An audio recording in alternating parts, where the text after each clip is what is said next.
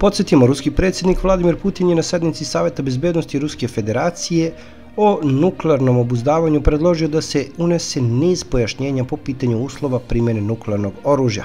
Ukoliko Ukrajina dobije dozvolu od Zapada da koristi rakete dugog dometa za gađanje Rusije, Moskva će za to saznati i naše kontramere će odmah stupiti na snagu, izjavio ruski ministar spoljnih poslova Sergij Lavrov. Prestali smo da pratimo temu dozvole Kijevu da gađe Rusku federaciju raketama dugog dometa nakon što je predsjednik Rusije Vladimir Putin rekao šta ćemo uraditi i kakve bismo zaključke izvukli ako bi takva odluka bila donata. Ako ta odluka bude usvojena, saznaćemo to i šema koji je pomenuo predsjednik će već biti na snazi, rekao je ruski ministar spoljnih poslova.